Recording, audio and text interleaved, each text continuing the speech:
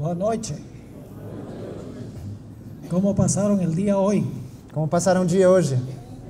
Lleno de bendiciones. Cheio de bênçãos? Gloria a Dios. Yo disfruté hoy mucho. Glória a Deus, eu também desfrutei muito desse dia. Probé mucha comida brasileira. Provou muita comida brasileira. Delicioso. Delicioso. Eu não traduzco palavras que são iguais. Delicious. Eu fiz um acordo com ele, disse, as, as- as palavras iguais eu não vou traduzir. Traductor desobediente. Bueno, esta noche vamos a hablar del cuerno pequeño. Hoje à noite vamos falar do chifre pequeno. Vamos a tener una oración, hacer un repaso y luego entramos en terreno nuevo. Faremos uma oração, uma recapitulação e começaremos num assunto novo. Así que les invito a inclinar sus rostros y vamos a orar. Por favor, inclinem suas frontes, vamos orar.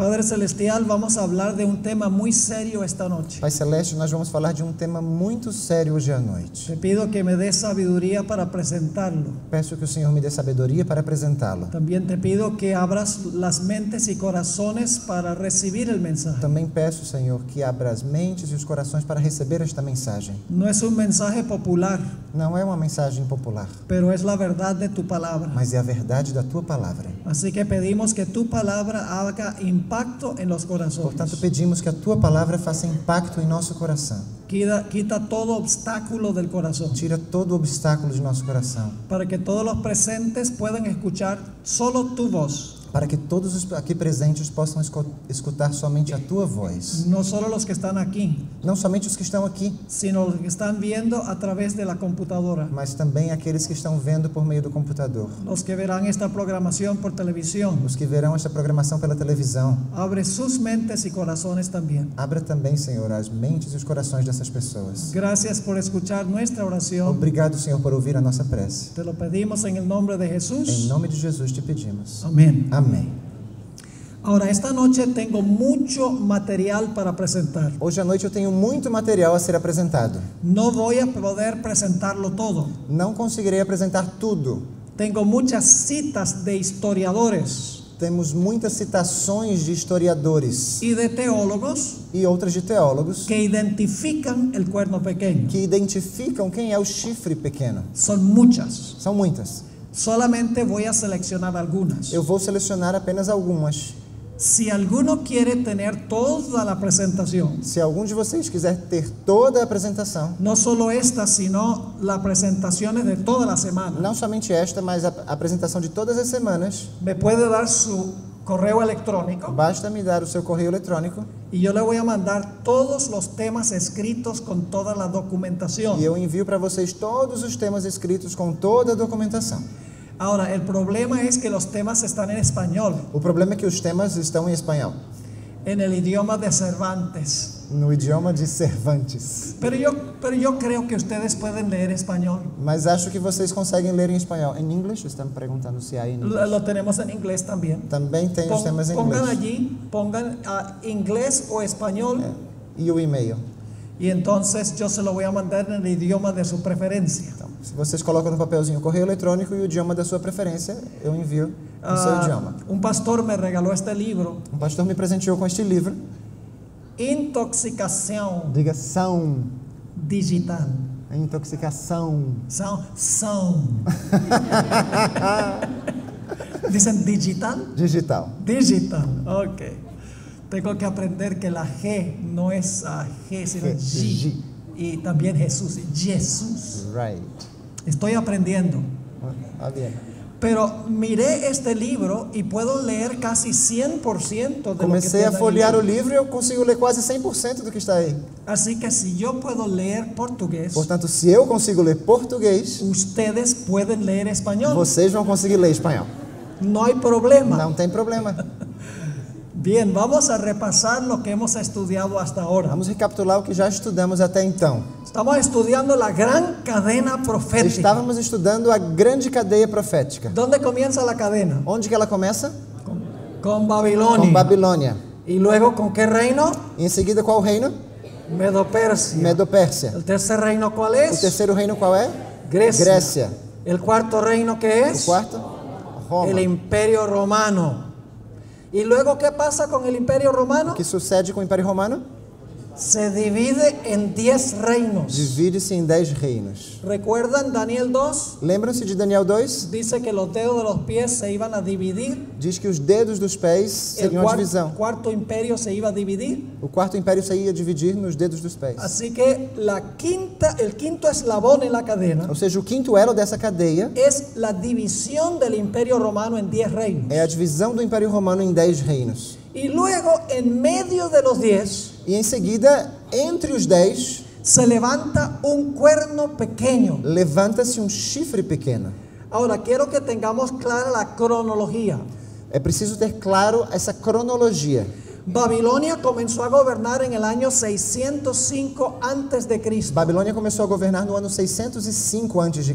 Medo-Persia en el año 539 antes de Cristo. Medo-Pérsia 539 a.C. Grecia en el año 331 antes de Cristo. Grécia no 331 a.C.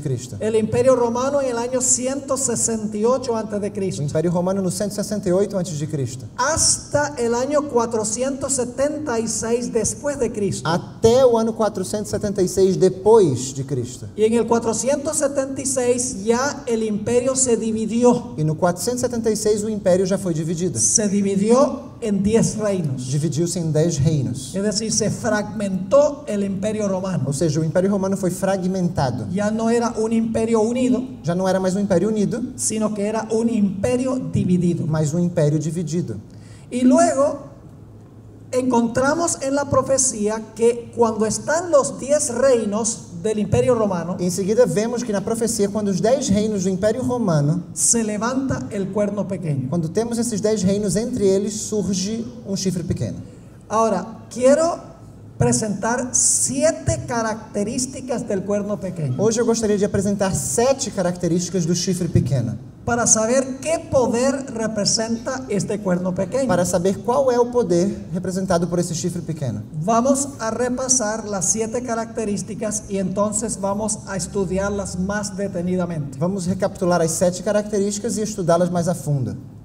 Característica número uno. Número 1. Um, El cuerno pequeño se levanta o chifre pequeno se levanta después que se dividió el imperio. depois do império dividido. Es decir, se divide el imperio y luego sale el cuerno pequeño. Ou seja, o império é dividido e em seguida sai o chifre pequeno. El imperio quedó completamente dividido en el año 476. O império estava completamente dividido no ano 476. Así que significa que el cuerno pequeño tiene que levantarse después del año 476. Ou seja, o chifre pequeno é preciso levantar-se depois deste ano. La segunda característica A segunda característica é, es que el cuerno pequeño tiene que levantarse en Europa, é que o chifre pequeno precisa se levantar na Europa, porque allí estaba el imperio romano. porque é ali que estava o Império Romano.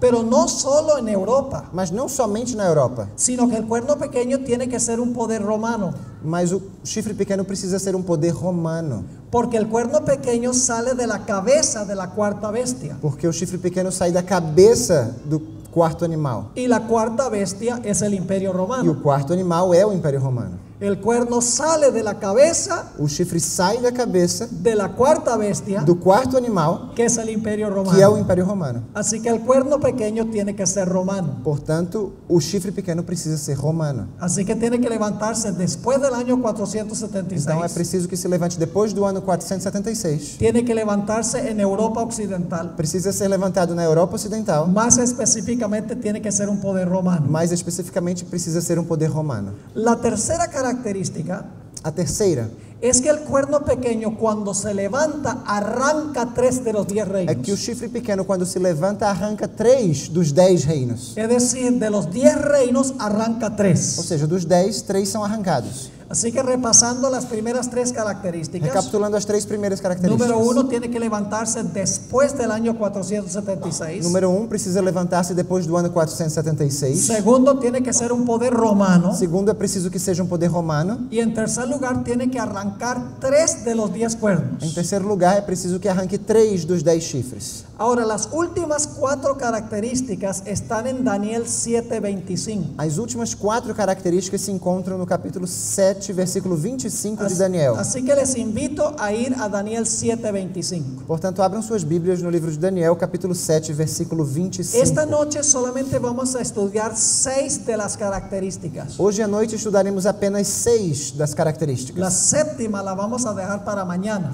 A sétima deixaremos para amanhã, porque el tema sería demasiado largo. porque senão o tema ficaria muito longo. Ahora, noten las últimas cuatro características. Percebam agora as últimas quatro características. Dice del cuerno pequeño en el versículo 25, O versículo 25 fala do chifre pequeno o seguinte: y hablará palabras contra el Altísimo. E proferirá palavras contra o Altíssimo.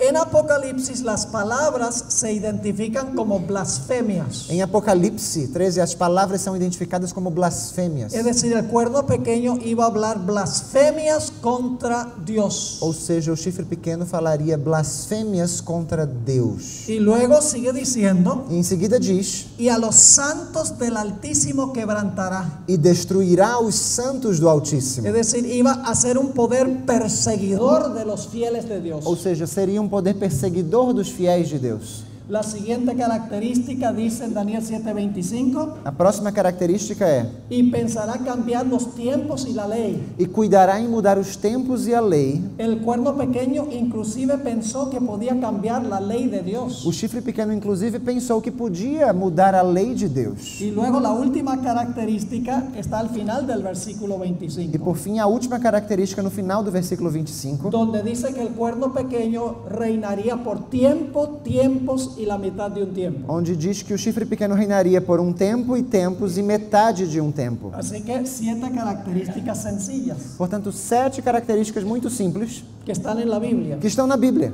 Yo no las puse allí, Eu não coloquei nenhuma delas aqui. las puso Dios. Deus as colocou aqui. Número uno, Primeira, tiene que levantarse después del año 476. precisa se levantar depois do ano 476 depois de Cristo. Número dos, tiene que ser un poder romano. Dois, precisa ser um poder romano. Número tres, tiene que haber arrancado a tres de los diez reinos en que se dividió Roma. Três, precisa ter arrancado três dos dez reinos em que Roma foi dividida. Número cuatro, iba a hablar blasfemias contra Dios. Quarta, falaria blasfêmias contra Deus. Número cinco, iba a perseguir a los fieles de Dios. Quinta, perseguiria os fiéis de Deus. Número seis, iba a pensar que podía cambiar la ley de Dios. Pensaria, cuidaria que poderia mudar a lei de Deus. E iba a gobernar por tiempo, tiempos y la mitad de un E tiempo. governaria por um tempo, e tempos, e metade de um tempo. Ahora vamos a mirar estas características para ver con qué poder se cumplen. Agora vamos analisar essas características para ver que poder cumpre estas características. Pero antes de hacerlo, quiero dejar algo claro que mencioné anoche. Mas antes de fazer isso, eu gostaria de esclarecer alguma coisa que mencionei ontem à noite. El cuerno pequeño es un sistema, una organización religiosa. O chifre pequeno é um sistema, uma organização religiosa. Dentro de ese sistema hay muchos verdaderos hijos de Dios. Dentro desse sistema há muitos filhos de Deus verdadeiros. Hay miles de personas que aman a Jesús. Há milhares de pessoas que amam a Jesus. Le sirven a Jesús con todo el corazón, Servem a Jesus de todo o seu coração, de acuerdo al conocimiento que tienen. conforme o conhecimento que têm.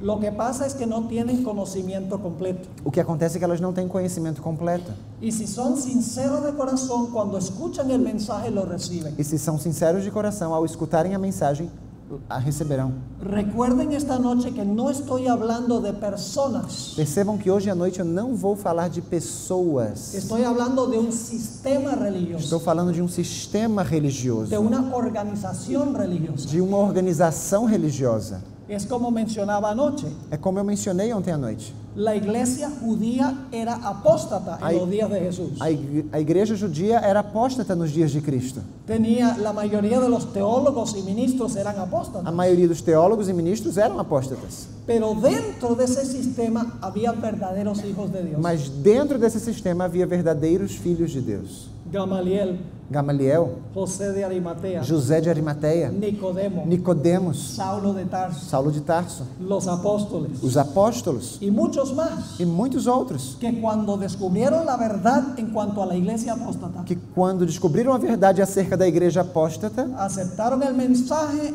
y se unieron a la iglesia aceitaram a mensagem e se uniram à igreja cristã. Así que no sienta si usted pertenece a esta organización, Portanto, se você pertence a essa organização, não se sinta, no considere que yo soy su enemigo. não considere que eu seja seu inimigo. Yo le prometí a Dios que iba a presentar la verdad como está en la palabra de Dios. Eu prometi a Deus que apresentaria a verdade conforme se encontra na palavra de Deus. No estoy hablando de usted personalmente. Não estou falando de você pessoalmente. Estoy hablando de la organización o del sistema Eu estou falando da organização ou do sistema que la Biblia presenta como el cuerno pequeño. que a Bíblia apresenta como sendo o chifre pequeno. Así que vamos a mirar las características una por una. Portanto, vamos analisar as características uma a uma. Característica número uno. Característica número um. En los siglos cuarto y quinto No século 4 e 5 de la era cristiana, da era cristã, varias tribus bárbaras invadieron el imperio romano del norte várias tribos bárbaras invadiram o Império Romano do Norte. y comenzaron a dividirse lo que había sido el imperio romano. E o Império Romano começou a ser dividido. Entre esos, esas tribus bárbaras se encontraban, por ejemplo, las siguientes. Entre essas tribos bárbaras encontravam-se as seguintes: Los anglosajones. os anglo-saxões. Yo pregunto, ¿qué país hoy viene de los anglosajones? Que país hoje representa os anglo-saxões? Inglaterra. Inglaterra. Entre esas tribus se encontraban los alemani. Também havia os germânicos, ou os alemani. ¿Qué nación viene hoy de los alemani? Qual seria a nação? A própria Alemanha. Alemania. Entre esas tribus se encontraban los lombardos. Entre essas tribos havia os lombardos. Hoy en día, ¿qué nación viene de los lombardos? Hoje em dia, qual seria essa nação? Italia. A Itália. Entre esos estaban también los francos. Também estavam os francos. ¿De qué nación hoy eh, desciende de los francos? Qual nação descende essa, os francos? Francia. A França. Y estaban también los visigodos. Também havia os visigodos. Hoy en día es el país de España. Hoje em dia seria o país da Espanha. Son algunos, algunas de las tribus bárbaras que invadieron el imperio. Essas são algumas das tribos bárbaras que invadiram o império. El resultado es lo que hoy conocemos como Europa. O resultado é o que hoje conhecemos como sendo a Europa. Muchas naciones Muitas nações con su propio idioma com seu próprio idioma y con su propia cultura. e com sua própria cultura. Ya no un imperio unido, Já não é mais um império unido, sino muchas diferentes naciones con diferente idioma y diferente cultura. mas muitas nações diferentes com muitos idiomas e culturas distintas. Lo que había sido el imperio romano ahora se dividió en muchas O naciones. que era antes o Império Romano agora foi dividido em muitas nações. Ahora, lo interesante es que aún antes que se dividiera el imperio, O interessante é que ainda antes da divisão do império, el emperador Constantino el Grande o imperador Constantino o Grande movió la sede del imperio de Roma a Constantinopla. transferiu a sede do império de Roma para Constantinopla. Hoy Constantinopla se llama Istambul, Hoje Constantinopla se conhece como Istambul, en Turquía. lá na Turquia. Y así fue que Constantino, moviendo la sede del imperio al E oriente, foi assim que Constantino, ao transferir a sede do império para o Oriente, se debilitó mucho el imperio occidental. fez com que o império ah, ocidental se enfraquecesse bastante. Y aparecieron varios emperadores muy E débiles. surgiram muitos imperadores fracos. Y finalmente, en el año E 476, finalmente, no ano 476, fue depuesto el último emperador del imperio occidental. Foi deposto o último imperador do Império Ocidental. Es decir, después del año 476 no hubo emperador en el occidente, en lo que había sido el imperio Ou romano. seja, depois do ano 476, não houve imperador no Ocidente, onde havia sido ali o Império Romano. El trono del occidente quedó vacante. O trono do Ocidente ficou agora vazio. Ahora, ¿por qué es importante esto? Por que isso é importante então? Sencillamente porque ahora el trono vacante pudo ser ocupado por lo que hoy llamamos el Papa. Simplesmente porque o trono que estava vazio pôde ser ocupado pelo que hoje chamamos de Papa. Como la sede del imperio se había ido al oriente Como a sede do Império agora foi, havia sido transferida para o Oriente y el último emperador había sido depuesto, e o último imperador havia sido deposto, el trono del occidente quedó vacante o trono que ficou agora vazio y ahora el que llegó a ocupar el trono fue el obispo de Roma, lo ¿Quién? que hoy llamamos el Papa. Quem chegou a ocupar o trono foi o bispo de Roma, o que conhecemos hoje como Papa. Muchos escritores dicen que el Papa ocupó el trono de César. Muitos escritores dizem que o Papa ocupou o trono de César. Y lo interesante es que esto sucede después del año 476. E o interessante é que isso acontece depois do ano La 476. primera característica es que el cuerno pequeño se iba a levantar después del año 476. A primeira característica é justamente essa, que o chifre pequeno se levantaria depois deste ano. El obispo de Roma no podía sentarse en el trono O bispo de Roma não podia se sentar no trono mientras había un impe- emperador en el trono. enquanto houvesse o imperador no trono. Tenía que ser quitado del medio el emperador O imperador precisava sair do meio para que el obispo de Roma pudiera ocupar el trono. para que o bispo de Roma pudesse ocupar o trono. Y hasta el día de hoy ha ocupado el trono allí en Roma. E até o dia de hoje ele tem ocupado o trono ali em O Roma, que llama la iglesia romana la cátedra. Ou o que a igreja romana chama de a cátedra. palabra cátedra en griego significa trono. A palavra cátedra em grego significa trono. Es decir, la primera característica claramente se aplica a Roma papal. Ou seja, a primeira característica se aplica claramente a Roma papal. Cuando el trono fue dejado vacante, Quando o trono ficou vazio, el obispo de Roma llegó a ocupar el trono de lo que había sido el imperio o romano. bispo de Roma chegou, veio a ocupar o trono que havia sido do Império Romano. Ahora, la segunda característica A segunda característica agora es que el cuerno pequeño tiene que ser romano, é que o chifre pequeno precisa ser romano, porque el cuerno pequeño sale de la cabeza de la cuarta bestia que es Roma. pois ele sai da cabeça da quatro- do quarto animal que é Roma. Claramente, el cuerno pequeño tiene que ser romano. Claramente o chifre pequeno precisa ser romano. Ahora yo pregunto, ¿qué nombre tiene la iglesia católica? Eu pergunto qual é o nome da Igreja Católica? Iglesia católica apostólica qué? Católica Apostólica o quê? Romana. Romana. ¿Cuál es su localidad geográfica? Qual é a sua localidade geográfica? Roma, Roma. el Vaticano. No Vaticano. ¿Cuál es su idioma Qual é o idioma oficial? oficial? Latín. Latim. ¿Cuál era el idioma oficial del Imperio Romano? Qual era o idioma oficial do Império Romano? Latín. Latim. ¿Qué clase de números usa en sus documentos oficiales el papado? Que tipo de números usa em seus documentos oficiais o papado? Números romanos. Os algarismos romanos. ¿Qué clase de arquitectura hay allá en ¿Cuál? la sede papal? Que espécie de arquitetura existe lá na sede papal? Arquitectura romana. Arquitetura romana. Además de eso, el papado heredó de las naciones paganas muchas costumbres que incorporó en su religión. Além disso, o papado herdou das culturas pagãs muitos costumes que incorporou em sua religião. Una de esas características que heredó de las religiones de misterio Uma dessas características que herdou das religiões foi o mistério. fue la veneración del Día del Sol, Dessas religiões ocultas foi a, ve- a veneração do dia do sol, que hoy llamamos el domingo. que hoje conhecemos como domingo. De eso vamos a hablar un poquito más adelante. Vamos falar disso um pouquinho mais adiante. No solo eso, sino autores católicos dicen que la- el papado transformó el sistema de organización del imperio romano. Não somente isso, mas a- autores católicos diz, diz que o papado transformou o sistema de organização do Império Romano. Le dio otros nombres a los líderes, Deu outros nomes aos líderes, pero era la misma organización. mas tratava-se da mesma organização. Por ejemplo, ya eh, no se llamaba ah, el emperador, Por exemplo, já não era mais o imperador, sino que el jefe era el papa.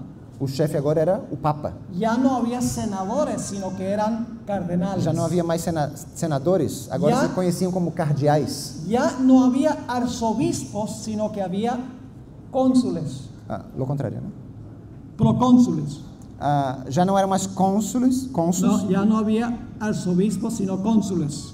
não é o contrário? No. Não? Já não havia mais arcebispos, mas agora era cônsules, cônsuls. Sí, no, o sea, no había ya cónsules, sino arzobispos. Sim, é o contrário. Correcto. Lo que saben. Já não havia mais cônsuls, agora eram arcebispos. Y no había más procónsules, E tampouco havia procônsuls, sino que había obispos. mas agora havia bispos. Es decir, los nombres cambiaron, Os nomes mudaram, pero la estructura permaneció igual. mas a estrutura permanecia a mesma. Lo único es que ahora el emperador era el papa, A única diferença é que agora o imperador era o papa, sentado en el trono que había sido vacante sentado no trono que havia deixado vago por el emperador. pelo imperador. Es más, Mais ainda, saben que el nombre del emperador era Pontifex Maximus. o nome do imperador era Pontifex Maximus, que hoy se traduce sumo pontífice. que hoje é conhecido como Sumo Pontífice. El idéntico nombre que se le da al Papa hoy es el nombre que tenían los emperadores O romanos. nome idêntico dado ao Papa hoje é o nome que tinham os imperadores romanos. Ahora, quiero leerles una cita de un historiador Gostaria de ler para vocês uma citação de um historiador, que se llama Adolf Harnack conhecido como Adolf Harnack, en su libro ¿Qué es el cristianismo?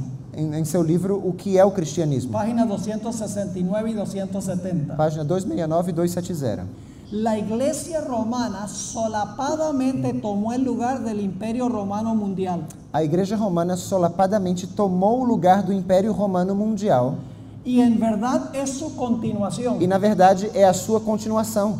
Ve, La iglesia romana es la continuación del imperio Ou romano. seja, a Igreja Romana é a continuação do Império Romano. Sigue diciendo este historiador, Continua dizendo o historiador. el imperio no ha perecido, O Império não pereceu, sino que se ha realizado una transformación. mas realizou-se uma transformação. Es una creación política tan imponente como un imperio mundial, Trata-se de uma criação política tão imponente como o Império Mundial, pues es la continuación del imperio romano. pois é a continuação do Império Romano.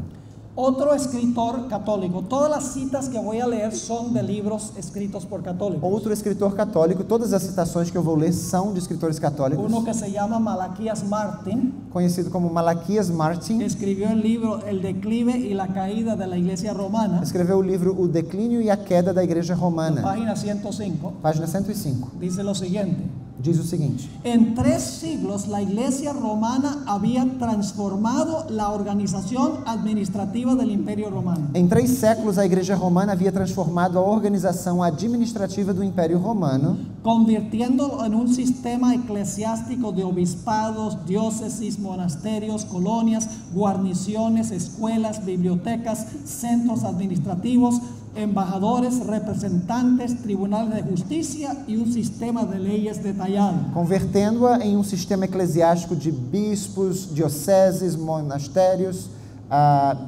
colônias, guarnições, escolas, bibliotecas, centros administrativos, embaixadores, representantes, tribunais de justiça e um sistema de leis detalhado.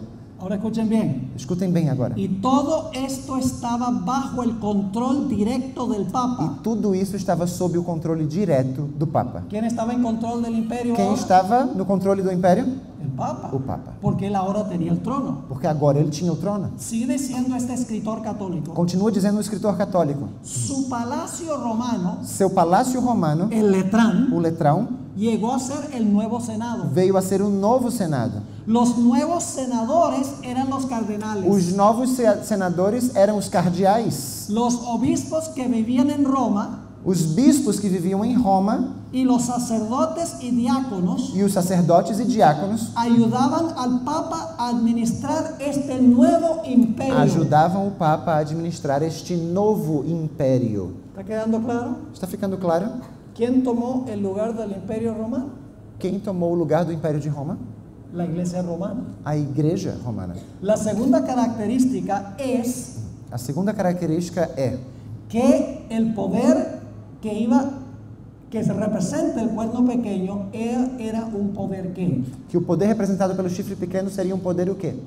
un poder romano. Um poder romano. Y eso es exactamente lo que sucedió. E é exatamente o que aconteceu. Permítame leerles una cita más. Mais uma citação. Una vez más, esta cita es de Adolfo Harnack. Novamente a, a citação de Adolf Harnack. Así es que la iglesia romana se impuso imperceptiblemente, Portanto, foi assim que a igreja romana se impôs imperceptivelmente, tomando el lugar del imperio mundial romano, tomando o lugar do Império Mundial Romano, del cual es en efecto su continuación. do qual é, em efeito, sua continuação. El imperio no ha perecido, sino que ha, ha pasado por una O transformación. império não pereceu, mas passou por uma transformação. El papado es una creación política tan imponente como un imperio mundial, O papado é uma criação política tão imponente como um império mundial, pues es la continuación del imperio romano. pois é a continuação do Império Romano. Y luego escuchen esto. Escutem agora isso. El Papa, quien se autodomina rey y pontifex maximus, O Papa, que se autodenomina Rei e Pontifex, Pon- Pontifex Maximus, es el sucesor de César, é o sucessor de César, es el sucesor del emperador. o sucessor do imperador. Todas estas citas son de autores católicos. Todas estas citações são de autores católicos. No es un protestante que está escribiendo en cuanto al papado. Não é um protestante escrevendo acerca do papado. Son historiadores y teólogos católicos que están escribiendo en cuanto a lo que sucedió. São historiadores e teólogos católicos que escrevem acerca do que aconteceu. Así que el papado se levantó al poder después del año 476. Ou seja, o papado levantou-se ao poder depois do ano y 476. la segunda característica es que es un poder romano y continúa Roma. E a segunda característica é que é um poder romano e conti- uma continuação de Roma. Pero hay una tercera característica. Mas há uma terceira característica. Y esa característica es que el cuerno pequeño cuando se levantó arrancó a tres cuernos. Essa característica é que o chifre pequeno, quando se levantou, arrancou três outros chifres. Ahora es una historia larga, pero la voy a abreviar. Trata-se de uma história longa, mas eu vou tentar abreviá-la. De los diez reinos ah, se convirtieron al catolicismo. Os dez reinos se converteram ao catolicismo. Pero había tres reinos que no eran ortodoxos en su teología. Mas havia três reinos que não eram ortodoxos em sua teologia. Es lo que se llama, eran arrianos. Eram arianos. Creían que Jesús era una criatura, un ser creado. Criam que Jesus era uma criatura, um ser criado. Y la iglesia romana no le gustaba esa idea E a igreja romana não gostava dessa ideia. de que hubiese tres reinos que eran rebeldes a la teología de la iglesia. De que outros três reinos fossem rebeldes à teologia da igreja.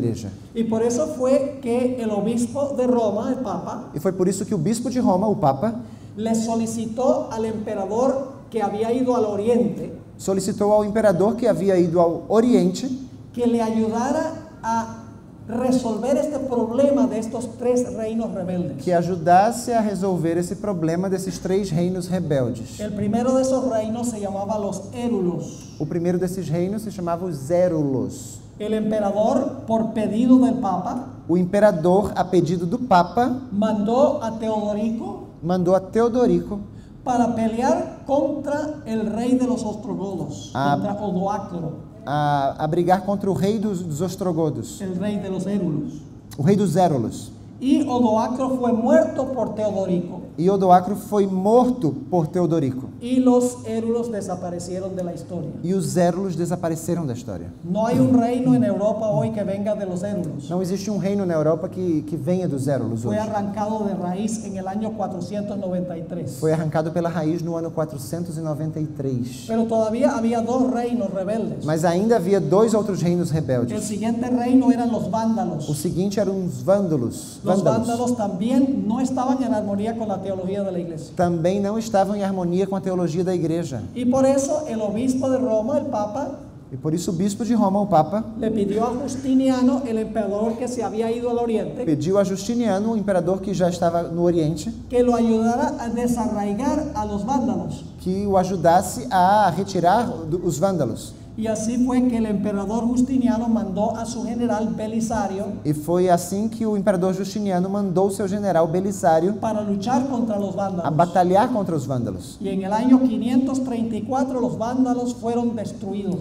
E no ano 534 depois de Cristo, os vândalos foram destruídos. No hay ni una sola nación en Europa que descienda de los vándalos. Não há nenhuma só nação na Europa que descenda dos vândalos. Fueron arrancados de la historia. Foram arrancados da história. Pero quedaba todavía un reino rebelde. Mas ainda faltava um reino rebelde. Era el reino de los ostrogodos. Era o reino dos ostrogodos. Así que una vez más el obispo de Roma Portanto, mais uma vez o bispo de Roma apeló a Justiniano, el emperador que estaba en el oriente. apelou a Justiniano, o imperador que estava no Oriente, Le dijo, ayúdame a encargarme de los ostrogodos. e disse: Me ajuda a, a, a, a brigar contra os ostrogodos. Y así fue que Justiniano envió a su general Belisario E foi assim que Justiniano enviou o seu general Belisário para luchar contra los ostrogodos. para lutar contra os ostrogodos. Y en el año 538, E no ano los 538, ostrogodos sufrieron una terrible derrota os ostrogodos sofreram uma terrível derrota y en poco tiempo desaparecieron de la historia. e desapareceram em pouco tempo da história. No hay una nación en Europa que descienda de los ostrogodos. Não há uma só nação na Europa que descenda dos ostrogodos. Ahora es interesante que Daniel 7 dice que los tres cuernos fueron arrancados de raíz. É interessante que Daniel 7 diz que os três chifres foram arrancados pela raiz. Y esto se cumplió exactamente,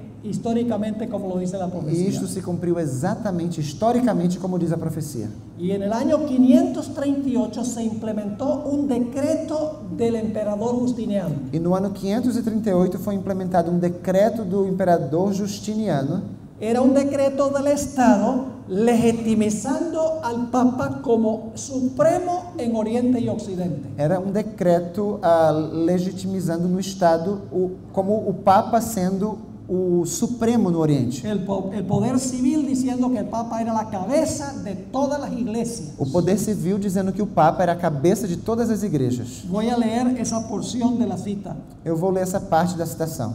Y es muy importante esto porque fue parte del código de Justiniano. E isso é muito importante porque fez parte do Código de Justiniano. Es decir, fue ley en Europa hasta los tiempos de Napoleón Bonaparte. Ou seja, foi lei na Europa até os tempos de Napoleão Bonaparte. Escribiéndole a- al Papa, Escrevendo ao Papa, Justiniano dijo lo siguiente. disse Justiniano o seguinte: Por eso nos hemos esforzado, Por isso nós nos temos esforçado, el emperador, o imperador diz, al máximo ao máximo para unir a todos los sacerdotes de Oriente para unir a todos os sacerdotes do Oriente y sujetarlos a su santa sede. e sujeitá-los à sua santa sede. Porque A usted Santa es la Sede. cabeza de todas las santas iglesias. Porque tu és a cabeça de todas as santas igrejas. Y haremos, el emperador, E faremos, o imperador, todo lo que esté a nuestro alcance tudo que esteja a nosso alcance para aumentar el honor y la autoridad de su sede. para aumentar a honra e a autoridade de sua sede. sua El sede. decreto del poder civil O decreto do poder civil legitimizando al Papa como la cabeza de todas las iglesias en Oriente legitimizando o. Papa como a cabeça de todas as igrejas no Oriente e Ocidente. Es decir, en el año 538, por decreto imperial, Ou seja, no ano 538, por um decreto imperial, el papado asciende al poder. o papado ascende ao poder. Después del año 476, Depois do ano 476, un poder romano, um poder romano, un poder que arrancó a través del poder civil tres de los diez reinos. um poder que arrancou por meio do poder civil três dos dez reinos. ¿Les está quedando claro esto? Está ficando claro isso? Lo único que tienen que hacer es ir a Google A única, que você, a única coisa que vocês têm que fazer é pesquisar no Google para ver si yo les estoy diciendo la verdad. para ver se eu estou dizendo a verdade ou não. Pongan ahí érulos, vándalos, ostrogodos. Escrevam aí Érulos, Vândalos, Ostrogodos. Pongan Justiniano, Belisario. Coloquem Justiniano, Belisário. Van a poder leer esta historia. E vocês vão poder ler essa história. Yo no estoy inventando esta historia. Eu não estou inventando nada. Es un hecho histórico. É um fato histórico. Pero ahora necesitamos mirar las últimas cuatro características. Mas agora precisamos analisar as últimas quatro características. Dice la Biblia que el cuerno pequeño iba a hablar blasfemias contra el Altísimo. A Bíblia diz que o chifre pequeno falaria blasfêmias contra o Altíssimo. Y por eso necesitamos saber qué es blasfemia. E por isso precisamos saber o que é blasfêmia. Mucha gente cree que blasfemia es una persona, un ateo que desafía a Dios. Muitas pessoas creem que blasfêmia é, é um ateu que desafia Deus. Dice, ese es un blasfemo. Esse é um blasfemo. Pero debemos permitir que la Biblia defina Mas blasfemia. precisamos permitir que a Bíblia o defina. No como lo define el diccionario. E não como define o dicionário. Porque la Biblia fue escrita hace dos mil años. Porque faz dois mil anos que a Bíblia foi escrita. Y el- la palabra blasfemia hoy tiene un significado diferente que lo que tiene la E Biblia. a palavra blasfêmia hoje tem um significado diferente do que a Bíblia diz. Según la Biblia, ¿qué es blasfemia? Segundo a Bíblia, o que é blasfêmia? Tiene dos definiciones. Há duas definições. Número uno, Primeira, cuando un hombre dice que tiene poder de per- perdonar pecados, quando um homem diz que tem poder para perdoar pecados, está hablando blasfemia, essa pessoa está blasfemando. según la Biblia. Segundo a Bíblia. Vamos a mirar lo que dice la Biblia. Vamos analisar o que diz a Bíblia. Ustedes recuerdan que cuando el Señor Jesucristo le dijo al paralítico, tus pecados te son perdonados. Vocês se lembram que quando Jesus disse ao paralítico, teus pecados são perdoados? Oh, los sacerdotes y los eruditos se enojaron. Ah, os sacerdotes e os eruditos não gostaram nada do que Jesus falou. Dijeron, ¿cómo es que tú siendo un hombre Como é que tu, sendo homem, dices que Hombre. puedes perdonar pecados? diz que pode perdoar pecados? Estás hablando blasfemia. Estás falando blasfêmias. Acusaron a Jesús de blasfemia porque ellos creían que era un hombre que estaba perdonando pecados. Acusaram a Cristo de blasfêmia porque criam que era um homem que estava perdoando pecados. Es decir, mis hermanos y hermanas, blasfemia según la Biblia O es sea- cuando un mero hombre Ou seja, irmãos, blasfêmia é quando um mero homem, um simples homem, dice que tiene poder para perdonar pecados. diz que tem poder para perdoar pecados. Ahora, Jesús podía perdonar pecados Jesus podia perdoar pecados porque era Dios. porque era Deus, Pero los dirigentes religiosos no creían que él era mas Dios. os líderes religiosos não criam que ele era Deus. Creían que era solo un hombre. Acreditavam que ele era somente um homem. Así que la primera definición de blasfemia es cuando un hombre dice que tiene poder de perdonar pecados. Portanto, a primeira definição de blasfêmia é quando um homem diz que tem poder para perdoar pecados. Yo les pregunto, ¿la iglesia romana dice que tiene poder para perdonar pecados los sacerdotes humanos? Pergunta: A igreja romana diz que os sacerdotes humanos têm poder para perdoar pecados? Permítame leerles dos citas de fuentes católicas. Vou ler duas citações de fontes católicas. La primera cita viene de San Alfonso de Ligorio, A primeira citação vem de São Santo Afonso de Ligório, uno de los 32 doctores de la iglesia católica, um dos 32 doutores da Igreja Católica, canonizado como santo, canonizado como santo, prolífico escritor. um magnífico escritor. Fíjense lo que él dijo en cuanto al poder del sacerdote. Perceba o que ele disse. Si el Redentor entrara a una iglesia Se o Redentor, se o Redentor entrasse numa igreja y se sentara en un confesionario e se sentasse num confessionário para administrar el sacramento de la penitencia para administrar o sacramento da penitência y un sacerdote se sentara en otro confesionario e um sacerdote se sentasse em outro confessionário y Jesús le dijera a cada penitente, ego te absolvo, e Jesus dissesse a cada penitente: Eu te es absolvo, decir, yo te perdono, eu te perdoo, y el sacerdote le dijera igualmente a cada uno de sus penitentes, ego te absolvo. e o sacerdote também dissesse igualmente a cada um dos seus, penite- de peni- dos seus penitentes: Eu te absolvo, Los penitentes del uno y del otro serían igualmente absueltos. os penitentes de um e do outro seriam igualmente absolvidos. Fíjense lo que dijo, ah, lo que se escribió en el Catecismo de Baltimore. Olha só o que está escrito no Catecismo de Baltimore. Dice allí, Ali diz: el sacerdote no tiene que pedirle a Dios que le perdone a usted sus pecados. O sacerdote não tem que pedir a Deus ah, que lhe perdoe os seus pecados. El sacerdote posee en sí mismo el poder para hacerlo en el nombre de Cristo. O sacerdote possui em si mesmo o poder para fazê-lo em nome de Cristo. Cuando el sacerdote le perdona a usted sus pecados, Quando o sacerdote perdoa, lhe perdoa os seus pecados, es lo mismo que si usted se arrodillara y se los confesara a Jesús. é a mesma coisa que se você se ajoelhasse e os confessasse a Jesus. queridos amigos, eso es blasfemia. Meus queridos amigos, isso é blasfêmia. Ningún hombre puede perdonar pecados. Nenhum homem pode perdoar pecados. Ningún hombre puede interceder por el ser humano. Nenhum homem pode interceder pelo ser Sabe humano. que la Biblia da tres características que tiene que tener un intercesor. Sabe que a Bíblia dá três características que é preciso de intercessor. En primer lugar, un intercesor entre Dios y el hombre tiene que ser Dios, Em primeiro lugar, o intercessor entre Deus e o homem precisa ser Deus, porque tiene que llevarnos a Dios. porque tem, tem que nos levar a Deus. En segundo lugar, tiene que ser hombre, Em segundo lugar, também precisa ser porque, homem, porque tiene que estar conectado con nosotros. porque precisa estar conectado Y conosco. en tercer lugar, tiene que ser sin pecado, según Hebreos 7, 25 y 26. E em segundo, terceiro lugar, precisa estar sem pecado, segundo Hebreus 7, 25 e 26. Un sacerdote humano solo una O característica, sacerdote humano só tem uma dessas características. es humano, É humano, pero no es Dios, mas não é Deus ni tampoco es sin pecado. e tampouco é sem pecado. No puede interceder. Não pode interceder. La escalera entre el cielo y la tierra es Jesús. A escada que liga o céu e a terra é Jesus. La parte de arriba de la escalera representa que es Dios. A parte de cima da escada representa Deus. La parte de abajo significa que es hombre. A parte de baixo representa que é homem. Y la escalera significa que Él nos representa ante Dios y Él también representa a Dios ante nosotros. E a escada significa que ele nos representa diante de Deus e que Deus é representado por meio dele para os homens. Posiblemente ustedes sepan que el Papa Francisco Possivelmente vocês saibam que o Papa Francisco declaró que del 8 de diciembre del año 2015 declarou que no dia 8 de dezembro de 2015 hasta el 20 de noviembre del año 2016 até o dia 20 de novembro de 2016 es el año de la misericordia. trata-se do ano da misericórdia. Y dijo que inclusive mujeres que han abortado bebés E disse inclusive que mulheres que abortaram bebês pueden a- ir al sacerdote podem ir até um sacerdote y confesar e confessar y recibir perdón, e receber o perdão, con tal que su arrepentimiento sea genuino. contanto que o seu arrependimento seja genuíno. ¿Y cómo sabe el sacerdote si el arrepentimiento es genuino? E como é que o sacerdote vai saber se o arrependimento é genuíno?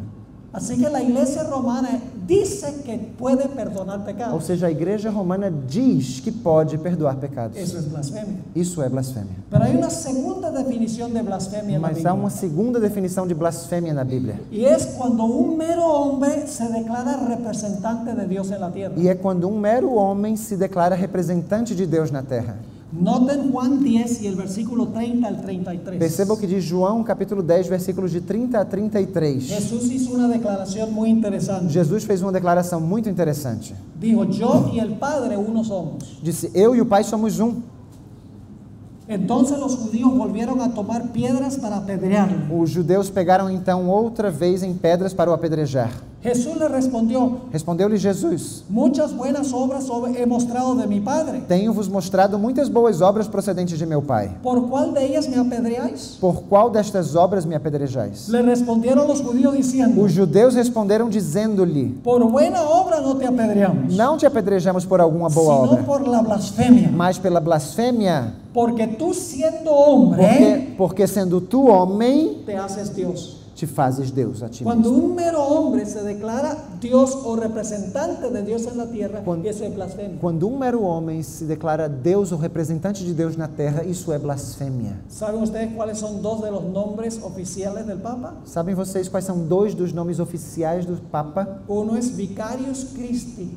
Um é Vicarius Christi. ¿Sabe lo que significa la palabra vicario? Sabe o que significa a palavra vicário? Significa uno que ocupa el lugar de. Significa alguém que ocupa o lugar de. Así que Vicarius Christi, Christi significa el que ocupa el lugar de Cristo. Ou seja, Vicarius Christi significa aquele que ocupa o lugar de Cristo. Otro nombre oficial que ha tomado el Papa Outro nome oficial que o Papa também tem es Vicarius Filii Dei, é Vicarius Filii Dei, vicario del Hijo de Dios. Vicário ou vigário do Filho de Deus. Es decir, el que toma el lugar Ou seja, de Dios. o que toma o lugar do Filho de Deus.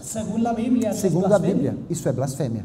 Cualquier hombre que dice que ocupa el lugar de Dios en la tierra, eso es blasfemia. Qualquer homem que diga que ocupa o lugar de Deus na terra, isso é blasfêmia. Cualquier sistema dice que, que dice que puede perdonar pecados, es blasfemia. Qualquer sistema que venha dizer que pode perdoar pecados, isso é blasfêmia. Ahora permítame leerles algunas citas aquí de autores católicos Vou ler mais citas de autores católicos, mais citações de autores católicos, sobre el hecho de que el Papa, según el concepto católico, es Dios en la tierra. sobre o fato de que o Papa, segundo o conceito católico, é Deus na terra. Ahora, si ustedes ah, me dan su correo electrónico, ustedes van a tener todas estas citas y dónde buscarlas. Se me derem o seu correio eletrônico, vão ter todas essas citações e onde pesquisá-las. No les estoy dando las referencias para ahorrar tiempo, Eu só não estou mencionando as referências para economizar tempo, pero todas están escritas. mas todas as referências estão aqui. En una homilía ofrecida al Papa Em uma homilia oferecida ao Papa año 1512 no ano de 1512 por Cristóbal Marcelo, por Cristóvão Marcelo, esto en el quinto concilio de Letrán, isso foi no quinto concílio de Letrão. Ah, dijo Cristóbal Marcelo mirando al Papa, Cristóvão Marcelo disse o seguinte, olhando para o Papa: pues tú eres el pastor, Pois tu és o pastor, tú eres el médico, tu és o médico, tú eres el director, tu és o diretor, tú eres el labrador, tu és o lavrador. finalmente tú eres otro Dios en la tierra. Finalmente, tu és outro Deus na terra. Eso es blasfemia. Isso é blasfêmia. Aquí hay otra cita.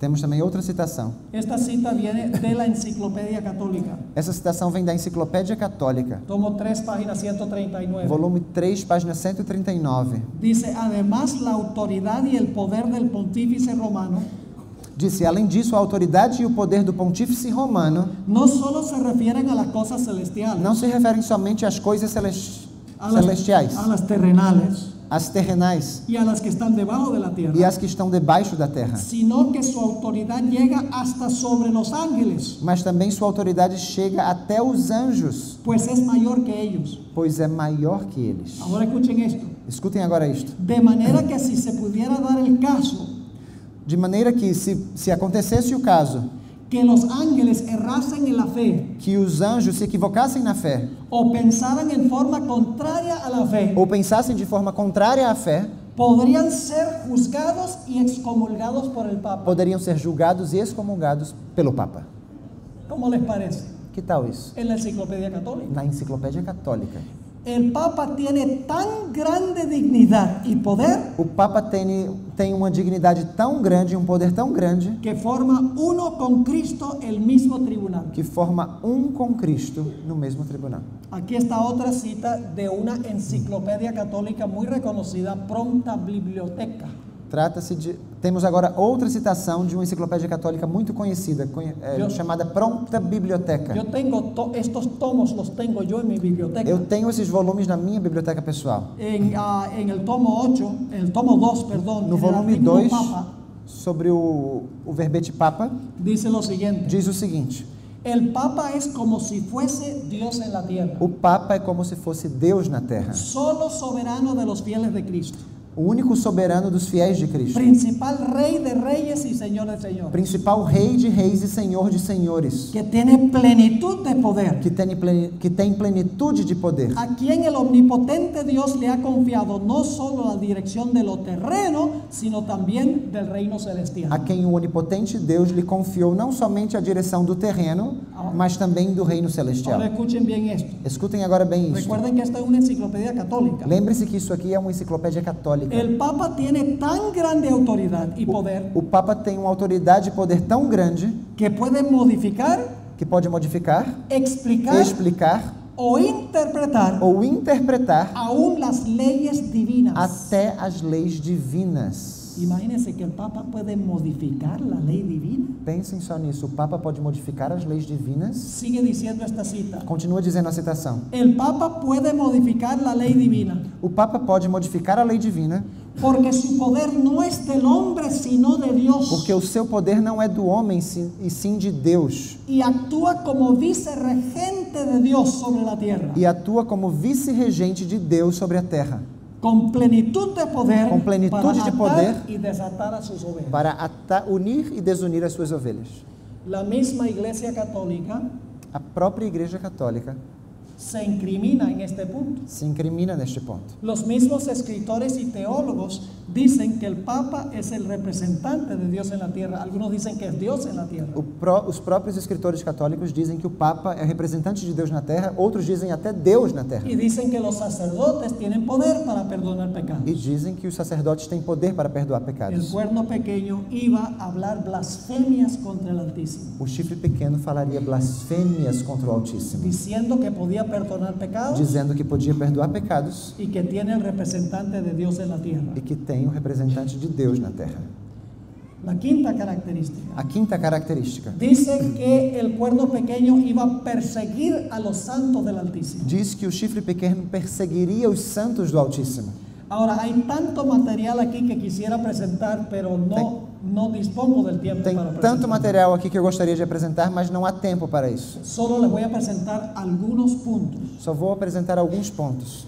Los dos más grandes teólogos en la historia de la Iglesia Católica fueron San Agustín y Santo Tomás de Aquino. Os dois maiores ah, teólogos ah, da história da Igreja Católica foram Santo Agostinho e São Tomás de Aquino. San Agustín al principio no pensaba que se debía usar la fuerza para obligar a la gente a ser fiel a la teología de la Iglesia. Santo Agostinho, a princípio, pensava que não era necessário usar a força para obrigar que as pessoas fossem fiéis à teologia da Igreja. Según los historiadores, entre el año 391 y el año 400, San Agustín decía, hay que persuadir, no perseguir para que la gente crea. Segundo os historiadores, entre o ano 391 e 400, Santo Agostinho dizia que era preciso persuadir a, não persuadir para que as pessoas cresçam. Pero desde el año 400 hasta el año 405 cambió de parecer Mas do ano 400 até o 405 parece que ele mudou de ideia. dijo, a los herejes hay que obligarlos por la fuerza a abandonar su E creencia. disse que aos hereges é preciso obrigar-lhes pela, força Es a que decir, creiam. aceptó la represión violenta de la herejía. Ou seja, aceitou a repressão violenta da heresia. Santo Tomás de Aquino dijo lo mismo. São Tomás de Aquino disse a mesma coisa. Yo tengo una larga cita aquí de, de su suma teológica, Eu tenho uma citação muito grande eh, do, do sumo da sua teologia, donde él dice, si una persona es hereje, onde ele diz que se alguém é herege, la iglesia debe tener misericordia. a igreja precisa ter misericórdia. Debe advertirle una y hasta dos veces. Deve admitir-lhe uma e até duas vezes. Pero si después de dos veces el hereje sigue con su herejía, Mas se depois de duas vezes o herege continua com sua heresia, debe ser excomulgado de la iglesia precisa ser excomungado da igreja y debe ser ejecutado por el poder civil. e executado pelo poder civil. Eso enseñaron los dos más grandes teólogos historia de la iglesia católica. Isso é o que ensinavam os dois maiores teólogos da igreja católica. De la persecución de los husitas, de los seguidores de, de Juan Hus. Poderíamos falar da perseguição dos hussitas, os seguidores de João Rus, un hombre que fue, que fue quemado en la hoguera por sus convicciones religiosas, um homem que foi queimado na fogueira por suas convicções religiosas, condenado por la iglesia, condenado pela igreja, entregado al poder civil. Entregue ao poder civil. Para que el poder civil lo quemara en la hoguera. Para que o poder civil o queimasse numa fogueira. Por sus convicciones religiosas. por causa de suas convicções Ahora, los religiosas. seguidores de Hus también fueron perseguidos Os seguidores de Rus também foram perseguidos pela igreja católica. Por ejemplo, el Papa Martín V Por exemplo, o Papa Martim V le escribió una carta al rey de Polonia escreveu uma carta ao rei da Polônia en el año 1429, no ano de 1429, donde le mandó al rei de Polonia que exterminara a los husitas. onde mandou que o rei da Polônia exterminasse os seguidores de Rus. Y quiero leerles esta cita de lo que escribió el Papa al rei de Polonia. E gostaria de ler essa citação do que o Papa escreveu ao rei da Polônia.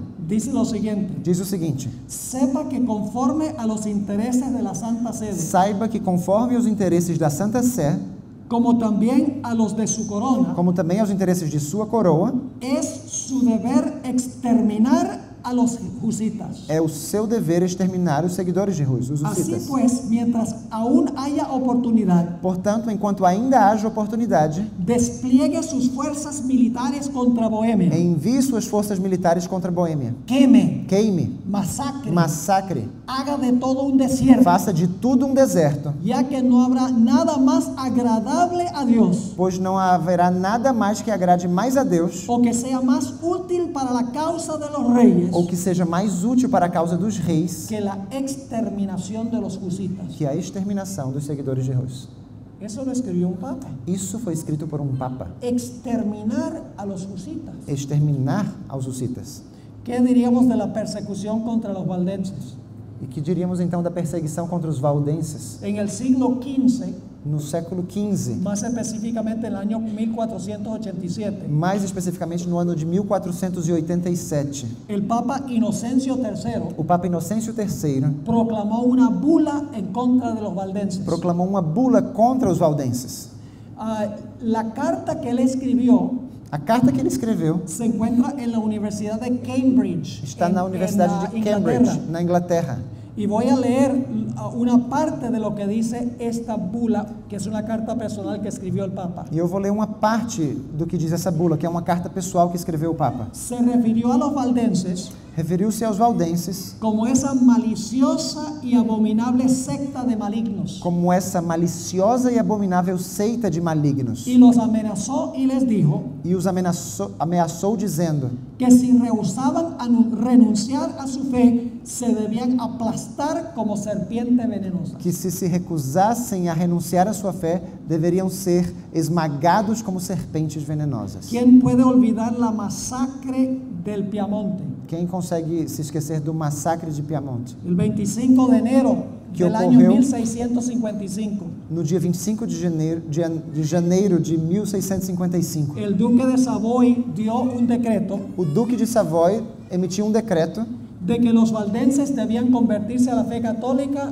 o debían ser perseguidos. de que os valdenses deveriam ser convertidos à fé católica ou seriam perseguidos. Debían abandonar sus hogares en los valles del Piamonte. Devia abandonar os seus lares ah, nos vales de Piamonte Y si rehusaban irse, se ejecutaba contra ellos el decreto de muerte. e se se recusassem a ir, haveria um decreto de morte contra eles. Así fue que el 17 de abril de 1655, Foi assim que em 17 de abril de 1655, 15 mil soldados del poder civil, pero con el apoyo del Papa, 15 mil soldados do poder civil, mas com o apoio do Papa, invadieron el Piamonte. invadiram esse vale. Miles de valdenses fueron asesinados, Milhares de valdenses foram assassinados, torturados y esclavizados. torturados e escravizados. Esto es un asunto de historia. Isso está na história. No se puede borrar. Não há como apagar. El papado apoyó al poder civil en la persecución de los O valdenses papado apoiou o poder civil na perseguição contra os valdenses por siglos. por séculos. ¿Qué diríamos de la masacre de San Bartolomé? E que diríamos do massacre de São Bartolomeu? En Francia había lo que se llamaban los hugonotes. Na França havia algo que se chamava os hugonotes. Eran ah, seguidores de Juan Calvino. Eram seguidores de João Calvino. Ellos eran la- los profesionales Eram os, Francia. eram os profissionais na França. La creme de la creme. A nata da nata. En el año 1572, No ano de 1572, específicamente el 24 de agosto, especificamente no dia 24 de agosto, se realizó la masacre de San Balo- Bartolomé. realizou-se o massacre de São Bartolomeu. El papado influyendo sobre el gobierno francés O papado, influenciando sobre o governo francês, mató en el curso de unas pocas semanas 70 mil hugonotes. matou no decorrer de poucas semanas 70 mil hugonotes. Lo interesante es cómo reaccionó el Vaticano cuando sucedió esto. O interessante é a reação do Vaticano a, a esse acontecimento. Los historiadores dicen que el evento fue celebrado por el sonar de campanas. Os historiadores dizem que o evento foi celebrado com o, o soar de sinos. Se hicieron misas de celebración. Missas de celebração foram feitas. Además de eso, el Papa Gregorio XIII, E além disso, o Papa Gregório XIII, con una procesión, fue a la iglesia de San Luis, com uma procissão, chegou até a igreja de São Luís, donde el cardenal de Lorraine onde o carde- cardeal de Lorraine elevó un himno de alabanza a Dios, cantou um hino de louvor a Deus, contento por la masacre. contente pelo massacre. El Papa contrató a un artista, Vasari, O Papa contratou um artista italiano, para Vasari, conmemorar la ocasión. para comemorar essa ocasião. Todavía en el Vaticano ustedes pueden ver esa obra de arte hecha por Vasari conmemorando la masacre de San E Bartolomé. ainda no Vaticano hoje vocês conseguem ver essa obra de Vasari comemorando o massacre. Gregorio XIII también mandó a hacer una moneda especial conmemorativa. Gregório XIII também mandou fazer uma moeda especial comemorativa.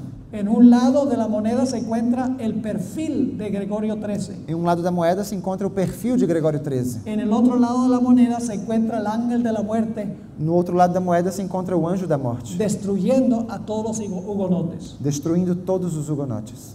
Esa es la historia de la iglesia romana Essa é a história da Igreja Romana durante el periodo de su dominio. durante o período de seu domínio.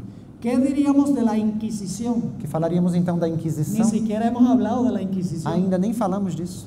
La Inquisición se estableció en el siglo XII Foi estabelecida no século XII, durante el pontificado del Papa Inocencio IV. durante o pontificado do Inocêncio IV, o Papa En, un- en Inocêncio una IV. bula que él escribió que se llama Ad Extirpanda, Uma bula escrita por ele, conhecida como Ad Extirpanda, el Papa escribió lo siguiente. o Papa escreveu, escreveu o seguinte: La tortura se debe usar para obligar a los here- herejes que confiesen. deve ser usada a tortura para obrigar os hereges a que confessem. Los herejes que son hallados culpables deben ser quemados en la hoguera. Os hereges que se encontrem culpados devem ser queimados na fogueira. Debe haber una fuerza de policías para ayudar en el proceso de la Inquisición. Deve ser estabelecida uma força policial para auxiliar no serviço da Inquisição. Y los que vayan en una cruzada contra los herejes reciben una indulgencia igual que los que iban a Tierra Santa para luchar contra los E musulmanes. aqueles que vão numa cruzada contra os hereges vão receber uma indulgência também. Esto llevó a Pedro de Rosa, que es un autor católico, Isso levou a Pedro de Rosa, um autor católico, en su libro Vicarios de Cristo, páginas 175 y 176, em seu livro Vigários de Cristo, páginas 175 e Isso é 176. Ele, ele é católico. escribió lo siguiente. Ele escreveu o seguinte: De los 80 papas que reinaron desde el siglo XIII en adelante, Dos 80 papas que reinaram desde o século XIII, a partir do século XIII, ni uno solo desaprobó de la teología y el mecanismo de la Inquisición. nenhum só desaprovou a teologia e o mecanismo da Inquisição. Al contrario, Pelo contrário, uno tras otro le añadió sus crueles retoques a esta maquinaria mortal. um depois do outro acrescentou seus cruéis retoques a esta maquinária mortal. Ni uno solo de 80 papas Nenhum somente entre Levan- 80 papas levantó su voz en contra del mecanismo de la Inquisición. levantou sua voz contra o mecanismo da Inquisição. Un inquisidor francés. Um inquisidor francês, con el nombre de Bernard Guy, com o nome de Bernard Guy, da Ordem dos Dominicanos, perseguidor de los albigenses. Perseguidor dos albigenses, en Francia, na França, durante el pontificado de Clemente V y de Juan XXII, durante o pontificado de Clemente V e João 22, escribió lo siguiente. escreveu, escreveu o seguinte: El objetivo de la Inquisición es destruir la herejía. O objetivo da Inquisição é destruir a heresia, No es posible destruir la herejía al menos que se eliminen los herejes. e não é possível destruir, destruir a heresia a menos que sejam eliminados os hereges. Y no es posible eliminar a los herejes al menos que se eliminen los que los E esconden, não é possível eliminar os hereges a menos que sejam eliminados os que os escondem, los que simpatizan con ellos os que simpatizam com eles y los que los protegen. e os protegem. Así que no solamente se enjuiciaba al hereje, Ou seja, não era somente o herege que era condenado, sino que se indagaba para ver quién simpatizaba pa- para hacer lo mismo mas eles buscavam ver quem simpatizavam para fazer o mesmo com eles. Uno de los lugares donde más difícil fue la Inquisición Um dos lugares onde a Inquisição foi mais difícil en pa- el país de España. foi na Espanha. Un individuo con el nombre de Juan Antonio Llorente, Um indivíduo com o nome de João Antônio Lorente, inquisidor español, inquisidor espanhol, documentó minuciosamente lo que hizo la Inquisición en España. documentou minuciosamente o que fez a Inquisição na Espanha. Escribió lo siguiente. Escreveu o seguinte: Yo fui secretario de la Inquisición de la Corte de Madrid Eu fui secretário da Inquisição da Corte de Madrid en los años 1789, 1790 y 1791 nos anos de 1789, 90 e 91 y conocí el establecimiento bastante a fondo para refutarlo. e conheci o estabelecimento bastante a fundo para refutá-lo. Fue vicioso en su origen, Foi vicioso em sua origem. constituyó constitución y leyes, Constituição e leis, a pesar de las apologías que se han escrito en su favor. apesar das apologias que foram escritas a seu favor. Siguió escribiendo. Continua.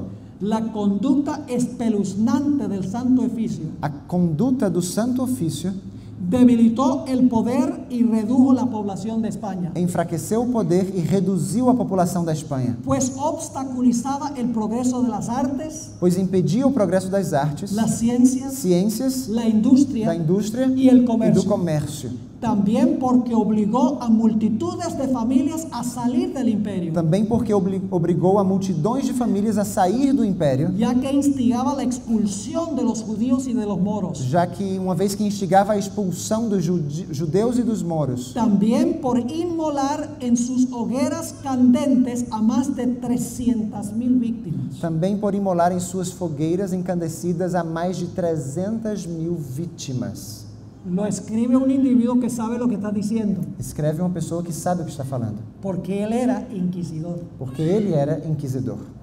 Ahora, estamos todavía en la característica número 5. Ainda estamos na característica número 5. Les he dado mucha evidencia porque quiero que sepan que la evidencia es abundante. Eu, tô- eu tenho lhes dado muita comprovação porque as comprovações são abundantes. Permítame mencionar algo sobre la Inquisición en América Latina. Permita-me mencionar alguma coisa da Inquisição na América Latina. La Inquisición funcionó en tres países de América Latina. Ela funcionou em três países da América Latina: Funcionó en Colombia, Colômbia, en México México y en Perú. e no Peru. Hace unos años visité la ciudad de Lima, Perú, Alguns anos visitei a cidade de Lima, no Peru. y había un lugar donde yo siempre quería visitar, E houve um lugar que havia um lugar que sempre quis estar, que visitar. era, que era el Palacio de la Inquisición allí en la ciudad de Lima. O Palácio da Inquisição, lá em Lima. Así que un día Um dia, então, me llevaron para visitar el Palacio de la Inquisición. me levaram para visitar esse palácio. Fue algo impresionante. Foi alguma coisa impressionante. Uno entra al palacio y se encuentra con un mural bien grande, una pintura A gente entra no palácio e vê logo de cara um, um mural bem grande, uma pintura de la Plaza de Armas, da Praça de Armas, que todavía existe hoy. que ainda existe hoje. Pero es, una, es un retrato de cómo era en los tiempos de la Inquisición. Mas trata-se de um retrato de como era nos tempos da Inquisição. Y ahí están en un auto de fe. E, a, e aí está num, num alto de fé.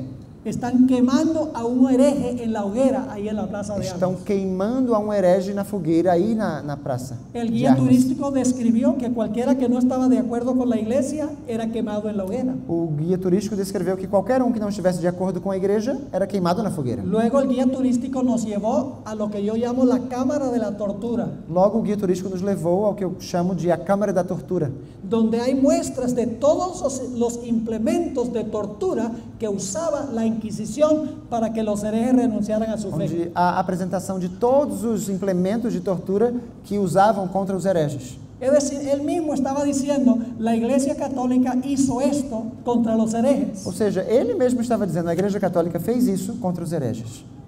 Los herejes eran azotados, Eles eram açotados, os hereges, flagelados, flagelados, ahogados, afogados, incinerados, incinerados, sofocados, sufocados, desmembrados, desmembrados, dislocados, deslocados, estirados, descoyuntados, estirados, desconjuntados, sencillamente porque no creían como creía la iglesia. simplesmente porque não acreditavam conforme a Igreja.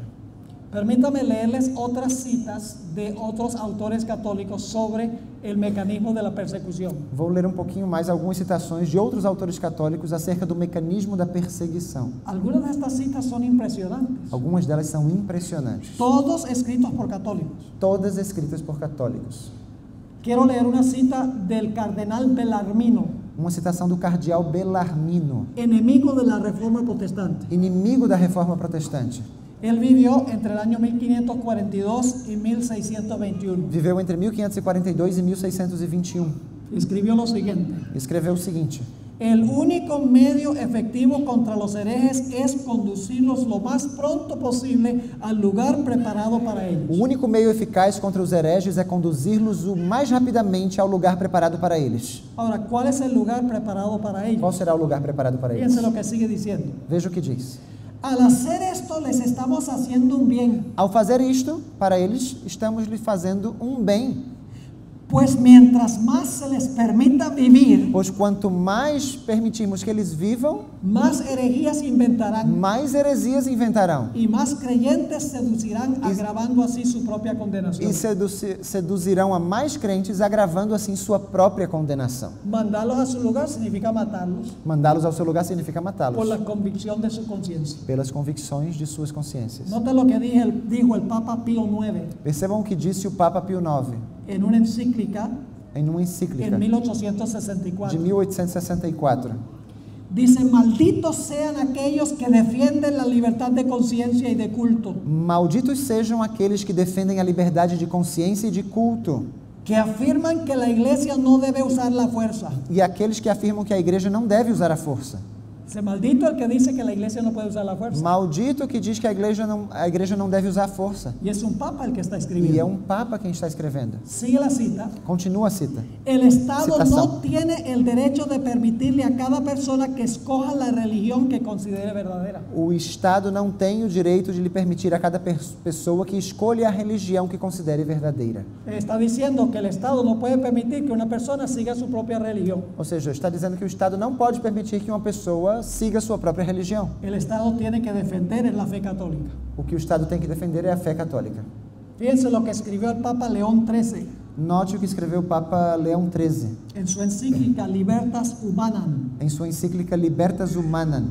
Conforme a lo que hemos dicho, Conforme ao que, ao que falamos, es ili- ilegal exigir, é ilegal exigir, defender defender o, conce- conceder libertad incondicional de pensamiento, de expresión, de prensa o de culto, ou conceder liberdade incondicional de pensamento, de expressão, de imprensa ou de culto, como si fueran estos derechos naturales que le han sido concedidos al hombre. como se essas coisas fossem direitos naturais concedidos ao homem. Podría leerles muchas citas más. Há muitas outras citas que eu poderia ler.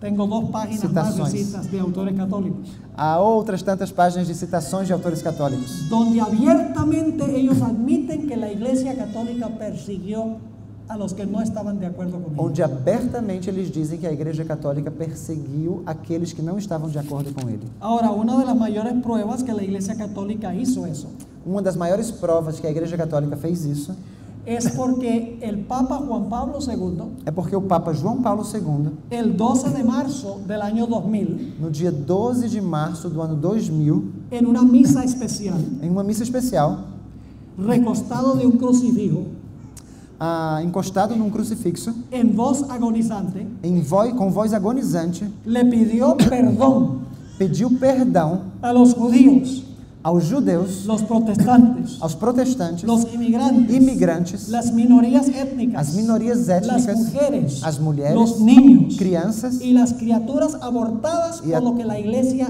les hizo a ellos. e até as criaturas abortadas pelo que a igreja fez para com eles. El Papa estaba admitiendo que la iglesia hizo eso. O Papa estava admitindo que a igreja fez isso. No solo eso. Não somente isso. El 22 de junio del año pasado, No dia 22 de junho do ano passado, 2015, el Papa Francisco I visitó la ciudad de Torre Pellice, o Papa Francisco I visitou a cidade de Torre Pellice, en el Piamonte de Italia, em Piemonte, da Itália, la sede de los valdenses, a sede dos valdenses, que fueron salvajemente perseguidos por la iglesia romana. que foram salv... é, selvaja... selvagemente. perseguidos pela igreja romana.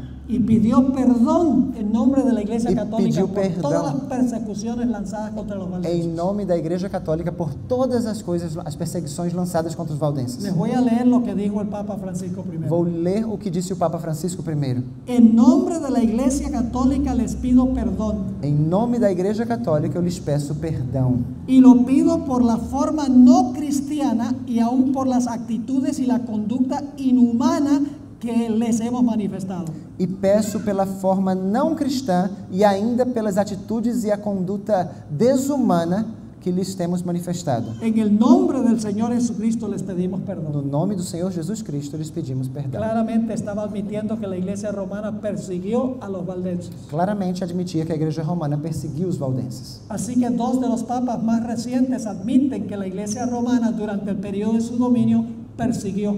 Portanto, dois dos papas mais recentes admitem que a igreja romana, durante seu período de domínio, perseguiu, Que es la quinta característica, perseguirá a los santos del Altísimo. que é a quinta característica, perseguirá os santos do Altíssimo. Ahora vamos a la última característica que vamos a estudiar esta noche. Vamos à última característica que estudaremos hoje. La última característica es que el cuerno pequeño pensaría que podía cambiar la ley de Dios. É que o chifre pequeno cuidaria, pensaria que podia cambiar, alterar, mudar a lei de Deus. Permítame leerles una cita que viene de esta, ah, de esta enciclopedia Pronta Biblioteca. Vou ler uma citação da enciclopédia Pronta Biblioteca. Es una enciclopedia católica. É uma enciclopédia católica. Dice lo siguiente. Diz o seguinte: El Papa puede modificar la ley divina. o Papa pode modificar a lei divina. ¿Qué significa modificar? O que, é que significa modificar?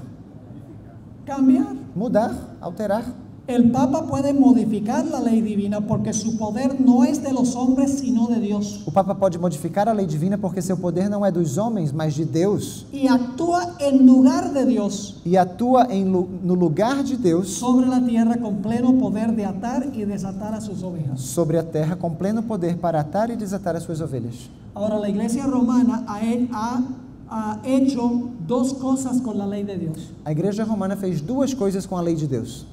Yo me imagino que muchos de ustedes fueron católicos o son católicos. Eu creio que muitos de vocês foram católicos ou são católicos. Recuerde que si usted es católico, yo no estoy hablando de usted. Lembrem que se você é católico, eu não estou falando de você. No, yo no estoy hablando de usted. Eu não estou falando de você. Porque yo estoy seguro que usted ama a Jesús Porque eu tenho certeza que você ama Jesus y le sirve lo mejor que puede. e serve a Cristo da melhor maneira possível. Porque dentro de este sistema hay muchos verdaderos hijos de Dios. Porque dentro desse sistema há muitos filhos verdadeiros de Deus. La mayoría del, bue- del verdadero pueblo de Dios está en la iglesia A católica, maioria do povo verdadeiro de Deus está na Igreja Católica, pero no conocen lo que hemos estudiado esta mas noche. não conhecem o que estamos estudando hoje à noite. Ahora escuchen lo que voy a decir. Escutem só o que eu vou dizer. Si ustedes van a una Biblia católica, Se vocês pegam uma Bíblia católica, ustedes van a encontrar que el segundo mandamiento está en la Biblia católica como en las Biblias protestantes. vão ver que o segundo mandamento está na Bíblia católica como na Bíblia protestante. El segundo mandamiento dice, no hagas imágenes, O segundo mandamento diz: Não farás para ni, ti ni te inclines ante la imagen, imagens e nem te inclines diante ni delas, le rindas homenaje a la imagen. e nem prestes homenagem para a imagem. Claramente. Claramente. Ahora, la Biblia católica tiene ese mandamiento. A Bíblia católica também tem esse mandamento. Pero cuando van al catecismo, Mas quando vão ao catecismo, el mandamiento desaparece del quando nós catecismo. vamos ao catecismo, esse mandamento desaparece de lá. ¿Se han dado cuenta de eso? Já perceberam isso? El primer mandamiento dice, no tendrás dioses ajenos delante de mí. O primeiro mandamento diz: Não terás outros deuses diante de mim. ¿Cuál es el segundo mandamiento? Qual é o segundo mandamento? Não Qual é, farás, ver? não farás para ti imagens de escu- de escultura. Exacto. No, no, ese- eh, no, el segundo mandamiento en el catecismo. No catecismo, qual é? ¿Cuál es? Qual é? El nombre de Dios. Não tomar o nome de Deus em. El tercer mandamiento es el mandamiento del día de reposo, O terceiro mandamento é o mandamento do dia de repouso, que en el catecismo dice santificar las fiestas. que no catecismo diz guardar domingos e festas. En el catecismo no está el segundo mandamiento. No catecismo não existe o segundo mandamento bíblico.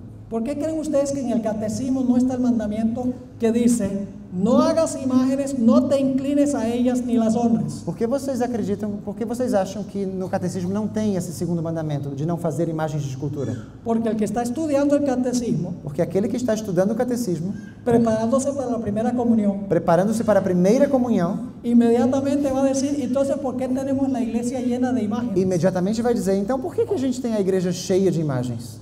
Entonces había que sacarlo. Era preciso retirar. Ahora, si usted saca el segundo mandamiento, Agora, se alguém retira o segundo mandamento, solamente tiene nueve. só temos agora nove mandamentos. Así que la iglesia romana dividió el décimo mandam- mandamiento en dos. Ou seja, a igreja romana dividiu o décimo mandamento em dois. El nueve es no codiciarás los bienes de tu prójimo. O, o nove é não cobiçarás os bens de teu próximo. Y el décimo es no codiciarás la mujer de tu prójimo. E o décimo é não cobiçarás a mulher do teu próximo. Pero la codicia es un solo mandamiento. Mas a cobiça é Não somente dois. um mandamento, não são Pero dois. como el segundo, Mas como tiraram o segundo, terminan con nueve tinham agora somente nove, y tienen que dividir el diez en dos para terminar con diez. precisaram dividir o décimo em dois para terminar com dez mandamentos. Ustedes saben, los que fueron católicos saben que yo les estoy diciendo la verdad. Vocês que foram católicos sabem que eu estou dizendo a verdade.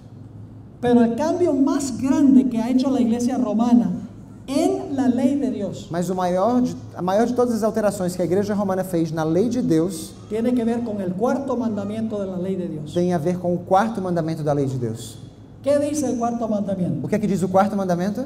Seis días trabajarás y harás toda tu obra, más el, Seis, seis dias trabalharás e farás toda a tua obra, mas o sétimo el séptimo día dia es sábado de Jehová tu Dios. é o sábado do Senhor teu Deus. ¿Qué día de la semana es el sábado? Qual dia da semana é o sábado? El séptimo O día. sétimo ¿Y dia. cuál es el séptimo día en nuestro E calendario? qual é o sétimo dia no nosso calendário? El O sábado, sábado, la séptima feira. a sétima feira. Yo sé que no lo llaman así, Eu sei que vocês não chamam assim, pero es el séptimo día en la secuencia. mas é o sétimo dia na sequência. ¿Qué día dice la iglesia romana que debemos guardar? Qual é o dia que a igreja romana diz que devemos guardar? O no el séptimo, el, Não é o sétimo, qual é? el primer O primeiro dia da semana. el domingo. O domingo. Y fíjense que el Papa Francisco I Notem que o Papa Francisco I ha aprovechado mucho este asunto del problema del cambio climático, aproveitou muito esse assunto dos problemas dos- das mudanças climáticas, de- del problema de la pobreza o- dos problemas da pobreza y del problema de la desintegración de la familia e do problema da desintegração familiar para exaltar el domingo. para exaltar o domingo. Por ejemplo, él dice, El planeta está cansado. Por exemplo, ele diz: o planeta está cansado. El medio ambiente necesita un día de descanso. O meio ambiente precisa de um dia de descanso. ¿Saben cuál día dice él que debe descansar Sabe qual é o dia que ele diz que devemos descansar? El domingo. O domingo. Dice, ay, los pobres tienen que trabajar tanto. Ai, os pobres têm que trabalhar tanto. Sus, sus jefes de trabajo los hacen trabajar y trabajar. Necesitan un día para descansar. Seus patrões os fazem trabalhar e trabalhar precisam de um dia para descansar. A que no adivinan cuál día es ese. Alguém adivinha que dia será esse? El domingo. O domingo. Dice, las familias no tienen tiempo para estar juntos. Diz: as famílias não têm tempo para estar unidas. No tienen tiempo para ir a la iglesia. Não tem tempo para ir à igreja. Necesitamos un día para la familia. Precisamos de um dia para a família. A que día es ese. Quem adivinha qual seria esse dia? El domingo. O domingo. Pero originalmente Dios creó el sábado Mas originalmente Deus criou para o que sábado descansara el medio ambiente. para que descansasse o meio El ambiente, sábado para que descansaran los pobres. para que descansassem os pobres Y para descansar hasta las bestias debían descansar el e sábado. até os animais deveriam descansar neste dia. Dios creó el sábado como el día de la familia. E Deus criou o sábado como o dia da família. Porque después de crear a Adán y Eva, les dio el sábado. Porque depois de criar Adão e Eva, lhes deu o sábado.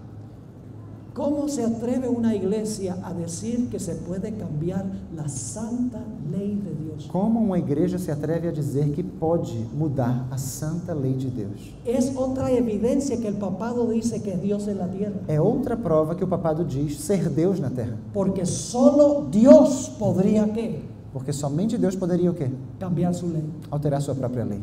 Permítame leerles dos o tres citas de la Iglesia Católica sobre el cambio del día de reposo. Vou ler duas ou três citações mais da Igreja Católica sobre a alteração do dia de repouso. La primera cita viene de Santo Tomás de Aquino A primeira citação vem de São Tomás de Aquino, en su Suma Teológica, em sua Suma Teológica, obra maestra teológica. uma, a principal obra teológica dele. Dijo o escribió Santo Tomás de Aquino, Escreveu o seguinte: en la nueva ley, Na nova lei, la observancia del domingo suplanta la observancia del sábado. a observância do domingo suplanta a observância do sábado. Y luego dice esto, E em seguida diz o seguinte: no en virtud de un precepto de ley. Não por causa de um preceito de lei, decir, no es porque la Biblia lo dice, não é porque a Bíblia diz isso, sino por la determinación de la iglesia mas pela determinação da igreja y la costumbre del pueblo cristiano. e pelo costume do povo cristão. ¿Por qué dice él que es el domingo el día de reposo? Por que ele diz que o domingo é o dia de repouso? Porque así lo dijo la iglesia. Porque assim a igreja determinou. Y porque es la costumbre del pueblo E porque é o cristiano. costume do povo cristão.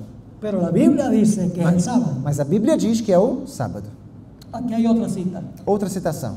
Fue por la autoridad de Jesucristo Foi pela autoridade de Jesus Cristo que la iglesia católica cambió este reposo al domingo que a Igreja Católica mudou este repouso para o domingo, en memoria de la resurrección de nuestro Señor. em lembrança à ressurreição de nosso Senhor. Y así es que al observar el domingo, E portanto, ao observar o domingo, escuchen bien, escutem bem isto.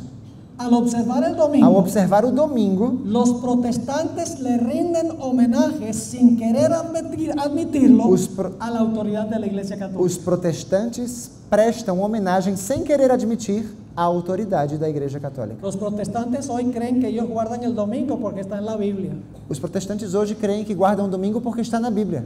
Pero el cambio en la ley fue hecho mucho antes que existiera un protestante. Mas a mudança na lei aconteceu muito antes que houvesse um protestante. Y los protestantes han adoptado la costumbre E eles adotaram o costume de una tradición de la iglesia católica, de uma tradição da Igreja Católica, pero no están dispuestos de admitirlo. mas não estão dispostos a admiti-lo.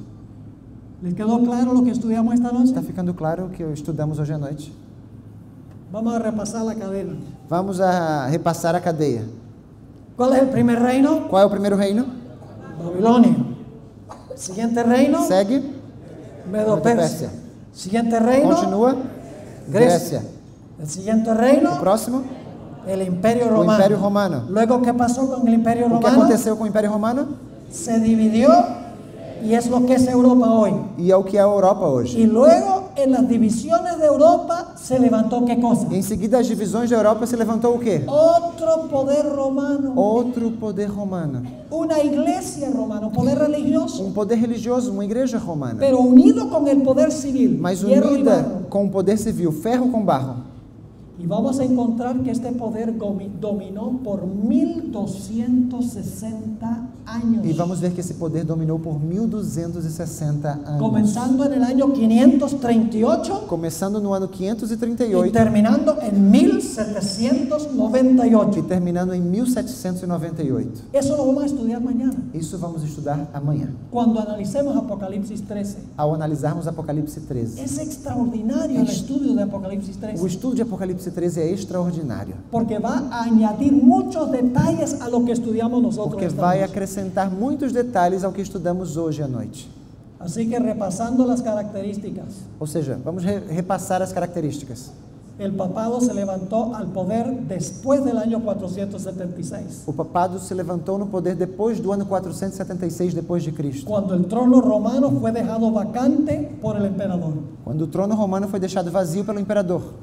El papado es un poder romano. O papado é um poder romano. El papado, usando el poder civil, arrancó a tres de los diez reinos. Usando o poder civil, o papado arrancou três dos dez reinos. El papado habló blasfemias contra el O Altísimo, papado falou blasfêmias contra o Altíssimo, diciendo que puede perdonar pecados dizendo que pode perdoar pecados y diciendo que tiene el representante de Dios en la tierra. e dizendo ter um representante de Deus na terra. El papado sí persiguió a los santos del O Altísimo. papado sim perseguiu aos santos do Altíssimo. El papado profesa haber cambiado la santa ley de O Dios. papado professa ter mudado a sagrada lei de Deus. Todas las características cuadran perfectamente con Roma papal. Todas as características se encaixam perfeitamente com Roma papal. Ahora en nuestro próximo estudio vamos a estudiar el periodo de tiempo. No nosso próximo estudo, vamos estudar o período de tempo. ¿Qué significa tiempo, tiempos y la mitad de un tiempo? O que significa tempo, tempos e metade de um tempo. ¿Qué forma rara de expresar un periodo? Que expressão diferente de expressar um período de tempo. En otras partes se llama 42 meses Em outras partes é conhecido como 42 meses. y en otras partes 1260 días. Em outros lugares, 1260 dias. ¿Cómo podemos entender este tiempo? Como vamos entender esse tempo? Vamos encontrar en nuestro próximo estudio No nosso próximo estudo veremos isto. que este periodo de tiempo cons- consta de 1260 años. Que esse período de tempo consta de 1260 anos. Comienzan en el año 538, Começa no ano 538, cuando el último cuerno rebelde es arrancado. quando o último chifre rebelde é arrancado. Y el emperador dice, ahora tú eres señor Un de todas las iglesias en Oriente y Occidente. E o imperador diz: Agora tu és o senhor de todas as igrejas no Oriente e Ocidente. Y termina exactamente 1260 años después, E termina exatamente 1260 anos depois, cuando el Papa Pío VI es llevado cautivo a Francia, quando o Papa Pio VI é levado cativo à França, a donde murió en exilio. quando, onde, morreu em exi, onde morreu no exílio. ¿Sabe lo que es interesante? Sabe o que é mais interessante? Los ostrogodas, el último cuerno rebelde, Os ostrogodos, o último chifre rebelde, fue, destrui- fue destruido en febrero del año 538 foi destruído no mês de fevereiro de 538. Y el papado fue llevado cautivo en febrero de E o 1798. Papa foi levado cativo em fevereiro de 1798. No solo preciso con respecto a año, Não é somente preciso com relação ao ano, sino preciso con respecto a mes mas también. preciso também com relação ao mês. Así que hermanos y hermanas, apreciadas visitas, no se pierdan el tema de mañana. Portanto, irmãos e irmãs, apreciadas visitas, não percam o tema de amanhã. Necesitamos tener el panorama completo, Precisamos ter o panorama completo, porque solamente hemos hablado de los 1260 años que dominó el papado. porque somente falamos dos 1260 anos que o papado dominou. Todavía tenemos que hablar de la herida mortal que el papado recibió en 1798. Ainda precisamos falar da ferida mortal que o papado recebeu em 1798. Ah, todavía tenemos que hablar de la bestia que se levanta de la tierra cuando cae el papado. Ainda precisamos falar da besta que se levanta da terra quando cai o papado. Todavía tenemos que hablar de, de la herida mortal del papado que se va a sanar. Ainda temos que falar da ferida mortal do papado que vai ser curada. Todavía faltan muchas, mu- muchas partes de la cadena. Ainda faltam muitas partes dessa cadeia profética. Termina con la gloriosa segunda venida del Señor Jesucristo. Termina com a gloriosa segunda vinda do nosso Senhor Jesus Cristo. Por eso yo creo que al concluir el tema de esta noche, Por isso eu creio que para concluir o tema de hoje à noite, vamos a cantar ese himno favorito. vamos, a vamos cantar esse hino favorito. Vencendo ven Jesús. ¿Pronuncié bien? Pronunciou bem? Más o menos. Vamos a ponernos de pie y vamos a cantar este himno. Coloquemos-nos em pé. Vencendo va en Jesús. En Jesús.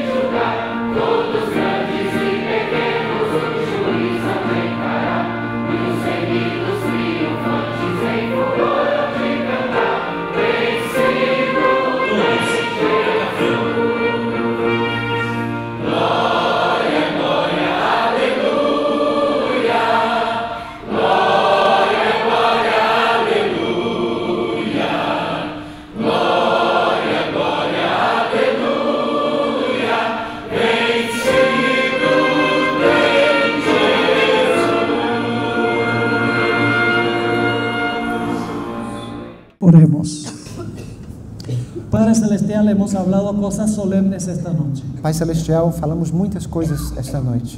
Ojalá que yo no tuviera que predicar este mensaje, Não queria ter que pregar esta mensagem, Senhor. porque hay tantas personas en este sistema que aman a Jesús, Porque há tantas pessoas nesse sistema que amam a Jesus, les sirven lo mejor que pueden al Señor, que servem a Cristo da melhor maneira de possível, acuerdo al conocimiento que tienen. conforme o conhecimento que têm. Pero Señor, este es un tema muy importante, Mas, Senhor, este é um tema muito importante, especialmente en estos últimos días. principalmente nesses últimos dias. Te ruego, Señor, que tú abras los corazones de los que escucharon. Rogo-te, Senhor, que abra o coração daquelas pessoas que escutaram. No solo aquellas personas que ya conocían este tema, Não somente as pessoas que já conheciam sobre esse tema, pero especialmente los corazones de aquellas personas que escuchan por primera vez esto. mas principalmente o coração daquelas pessoas que escutam esse tema pela primeira vez. No solo los que están aquí, Não somente os que, os que aqui estão, los que están viendo en su computadora. os que vêm pela internet. Te ruego, Señor, que tú les des la valentía Rogo-te, Senhor, que dê a elas a valentia de dejar este sistema de deixar esse sistema y de abrazar la verdad completa y total. e de abraçar a verdade de maneira completa e total. No importa cuán difícil sea, Não importa, Senhor, quão difícil seja. no importa que diga la familia, que dicen los amigos, Não importa o que digam a família, os amigos. dale, Señor, la determinación de que a serte fieles, Dá, Senhor, a essas pessoas a determinação de que elas sejam fiéis, cueste lo que cueste. custe o que custar. Gracias, Padre, por habernos acompañado Graças, Senhor, por nos ter acompanhado y por responder nuestra e oración. por responder a nossa oração. Pues te lo pedimos en el precioso nombre de É no Jesús. precioso nome de Jesus que te pedimos. Amén. Amém.